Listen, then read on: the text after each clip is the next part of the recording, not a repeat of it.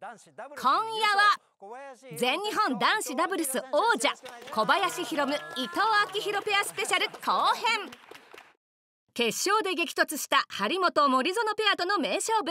その裏側を本人たちが解説。正直ゾーン入ってたっていうかもう、うん、まあ、決勝戦でもその対手がまあうまくいったから彼ではないかなって思います、封じ込めることができた。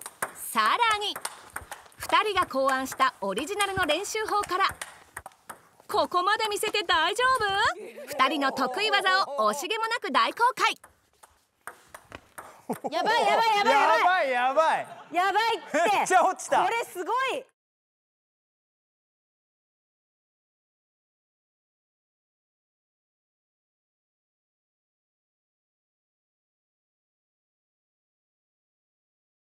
まずは全日本選手権決勝。張本森園ペアとの名勝負を本人解説。どんなお気持ちでしたか？そうですね。まあ決勝戦はもっと緊張するかなと思ってたんですけど、あんまり緊張しなくて本当に全国大会の決勝初めてだったんで。あもう人生を通して。そうです。だったのでまあ本当にもう自分のプレー出して楽しもうっていう気持ちで、まあ、相手も格すごい格上なんで楽しもうっていう気持ちで頑張りました。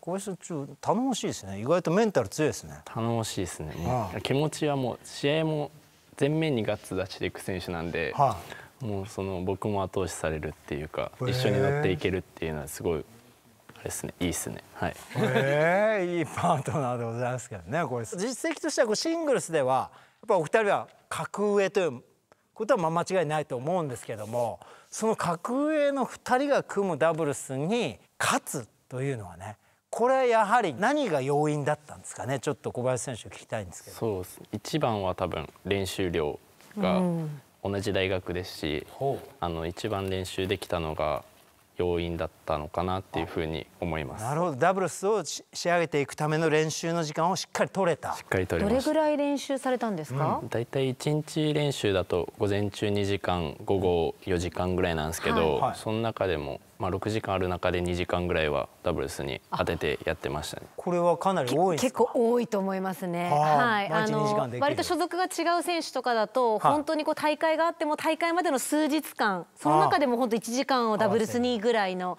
チームもあるので、うん、練習量としては結構多いと思いますね。結構練習自分たちが一番してるんだぞっていう自信はあったので、うん、そこの面がやっぱ競って負けそうな時もあったんですけど、うんうん、やっぱそのおかげで乗り切れたっていうのはあると思います。なるほどね。ちなみになんか対策みたいなものっていうのはされたりはしたんですか？いかがですか？そうですね。まああの森園選手と張本選手もすごい強い選手なんで、うん、まあ一個言うなら、まあ、森園選手のチキータがまあすごい武器なんですけど、うん、それをこうどう頑張って対処するかっていう練習をまあすごいして、で2人でもすごい考えて、まあ、決勝戦でもそのチキータの対処がまあうまくいったから彼ではないかなって思います。封じ込めることができた。そうです。森園さんのチキータをいかに狙えるかっていうのが勝負だと思ったんで、そこがうまくいったのがまあ勝ってた要因かなっていうふうに。なるほど。森園さんにねちょっと聞いてみたんですよ。はい、このダブルスの決勝のこと。はい、ちょっとこの日は勝てる要素がなかったって言ってました。はい。それぐらい封じ込めてたってことなんですね。ここは正直ゾーン入ってたっていうかもう流れのままいけちゃったっていう感じですね。はい、ちなみにあの伊藤選手は2022年の大会、はい、全日本の大会で会場で張本選手と森園選手のダブルスの練習相手をしてたんですけど。あそうだったの？それは練習お願いされて？そうです。はい。あの森園選手にお願いされて、はあ、それで準決勝の前と決勝戦の前にあの2人の練習をして、はい、僕はもう試合よりも緊張しながら本当に このこのままブルブルブルしながらもブロックしたんですけど それでまあいざその2年後に試合することができてまあ嬉しかったですね自分は。なるほどね、そでもそこがプルプルしたところから2年ですからね。そうですよね。すごい駆け上がり具合じゃないですかその経験ってやっぱり生きましたか？そうですね。やっぱりまあその時に球をまあ取れたっていうのもはい、ありますし、うんまあ、あと試合の時はやっぱ自分がもっと声出してもガッツ出してもう思いっきり向かっていけるんで、練習の時はどうしてもやっぱ入れなきゃちょっとややばい 入れなきゃいけないっていう気持ちがあったんで、まあ、そこでやっぱりそうですね試合の時の方がやりやすかったです、はい、意外となんかおとなしそうに見えていけるタイプなんですね。もう 伊藤選手はね。試合ではめちゃくちゃもうわーって感じ吠えまくります。吠えまくるタイプですね、はい、初めてのお話し会とどっちが緊張しました？あそれで初めてのお話し会かもしれない。そっちの方が緊張した。そうですね。もうめちゃくちゃ練習しまくって行きました、ね、ここからは卓球台を使った実演。まずは日本一になるために編み出したオリジナルの練習法を披露。さあお二方何から見せていただけるんでしょうか、と、僕たちはオールでランダムで動く練習なんですけど、はい、ブロック側に2人立ってもらって、はい、僕らもコースを打ち分ける練習をします。なるほど。好きなコースに打っていいのを2人がしっかりとこうブロックして返してくるってことなんですね。結構ブロックも難しい練習、はい、なるほど、はい、じゃあそれではまずは見せていただきましょう。もうもうもうオールでいいのかな？はい本当にオールではいはい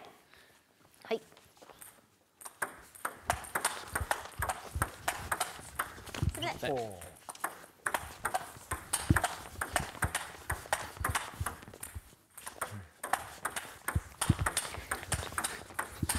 わ結構ブロック難しいぞ。回転かかってる。回転。かかってる、うん、どうですかこれ平野さん。受けてみて。あの二人の救出が結構違いますね。これがあの2人のダブルスの特徴だなとも思います。ブロックしていて、うん、伊藤選手のこうちょっとググインってくるボールと、うん、小林選手のこうスッとこうはいはい。あの全然球質が違うのでそういう意味ではこう対戦する側としては毎回毎回こうゲームが変わるごとに球質がだいぶ変わる感覚があると思いますね。うん、はい、はい。2人が編み出したこの練習法実はこんな狙いも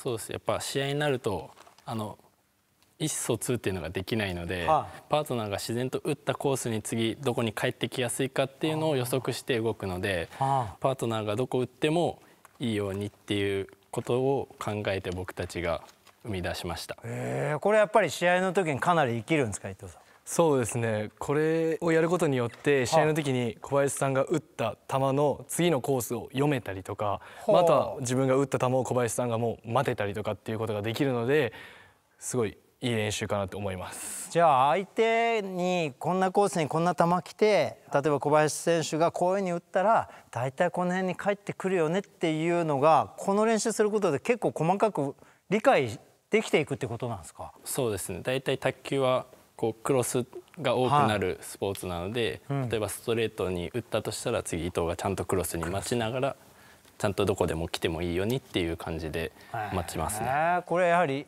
はい、理屈としては正しいんですね。そうですね。ダブルスの難しいところって結構一つのことがうまくいかないとシングルスの時もガガガってこう崩れてくるのも早いんですよ。はあはあ、なのでおっしゃったように意思疎通ができない中でもパートナーが打ったところに対して次に自分が反応とか対応できなければいけないので、うん、でもお二人の動きを見た時にパートナーが打っている時の足のこう細かい微調整みたいなところがすごくあのしっかりとできているのでダブルスの要素ってその動きの要素っていうのもすごく重要なところなので、うん、そこはやっぱ訓練されてるっていうのがよくこうはい、すぐ見て取れるわけですね。はい、さらに小林伊藤ペアが磨き上げた3つの得意技を実演。皆さんこれは必見。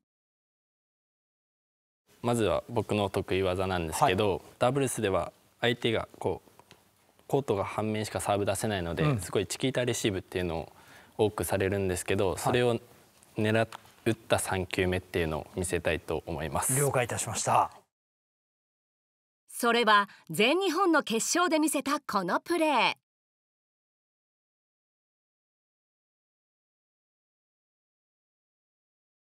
伊藤のサーブに対し森園が繰り出したチキータを小林が狙い撃ち。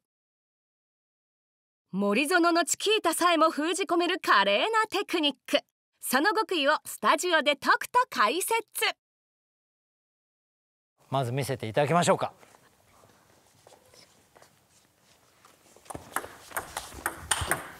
あ。これ試合でたくさんありました。なるほど、ね、はい、出てました。はあ。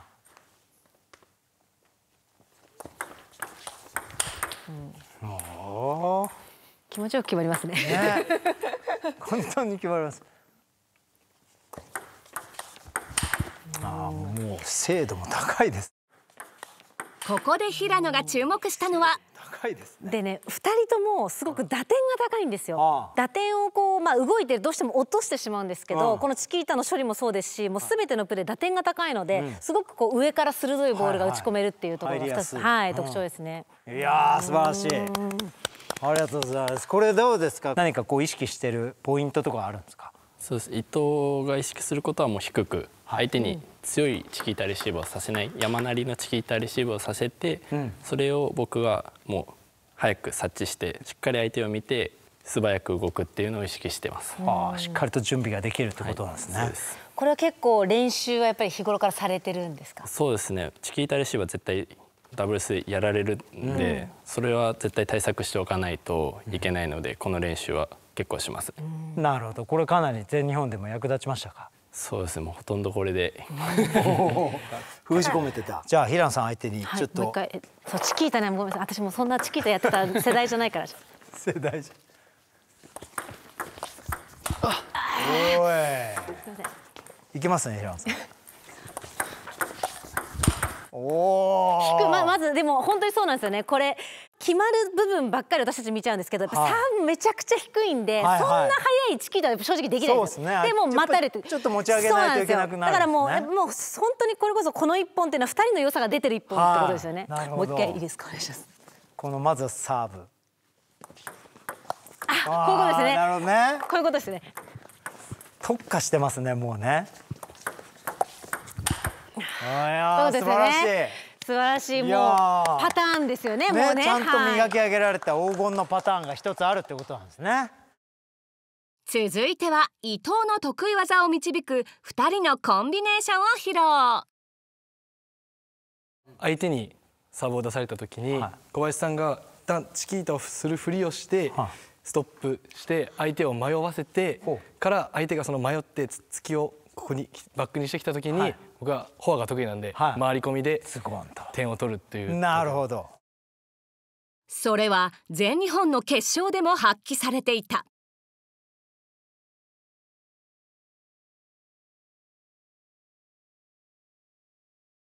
まずは小林に注目。チキータの構えから。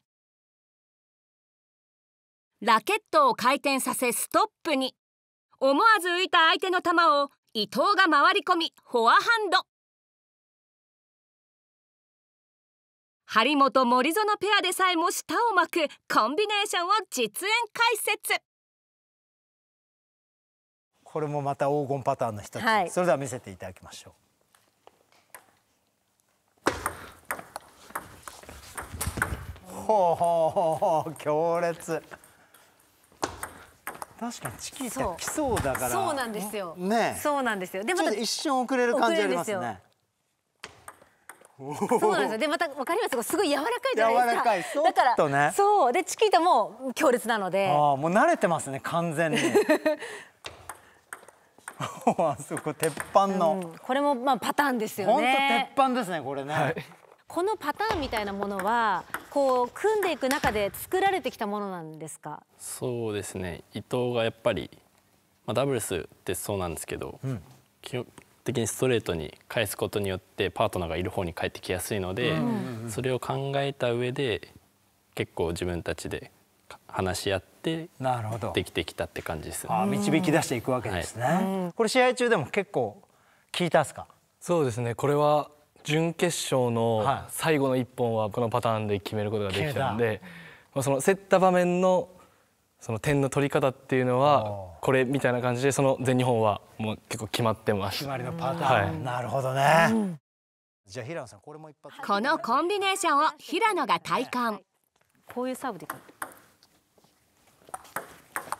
こうですよね。うわやっぱ逆疲れちゃうな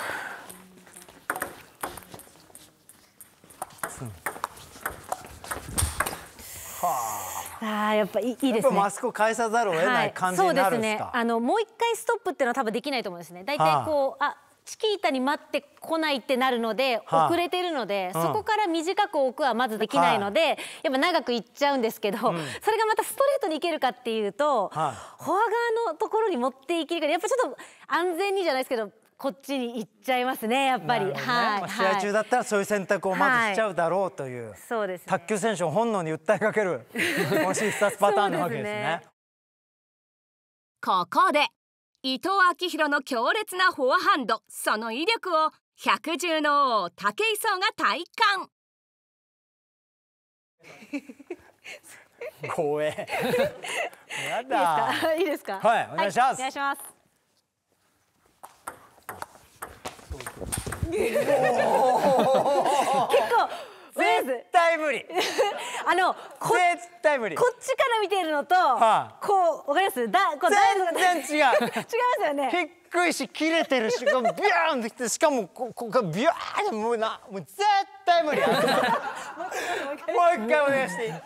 何これ？どうしたらいいの？怖え。おわ無理。無理。すごいね。すごいですよね。これは。結構結構これがで何が来るかわからない中で突然これをヒュッて来られるわけでしょ、はい、しかも向こうはもうこれ練習済みでしょ、はい、これはあれですな。やりましたな。続いては小林の必殺カットブロック。武井平野も思わず驚愕それでは見せていただきましょう。